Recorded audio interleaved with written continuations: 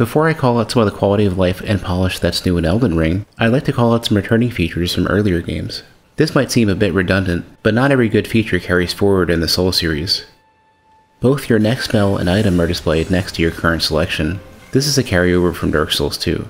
There's also a simple view for menus that allows you to see the game while making selections. This was expanded from Dark Souls 2. In the network test for Elden Ring, there's already quite a few new features to appreciate. The cookbook items used in crafting list which items they allow you to make. You're also able to scroll through the list of tips and load screens.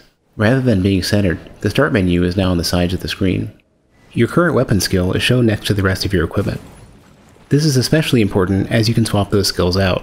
The skill that you use is dependent on which of your weapons have skills. This defaults to your left hand. If you have a skill in your right hand and no skill in your left, then you'll use the skill in your right hand.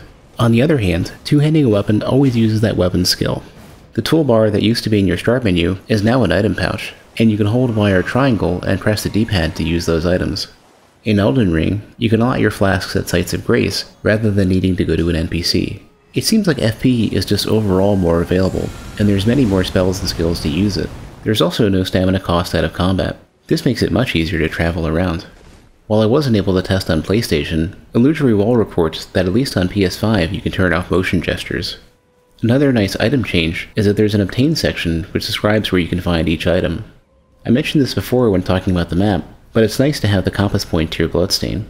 I can't remember if this is in the earlier games, but the Crimson and Cerulean flask descriptions change when they're empty.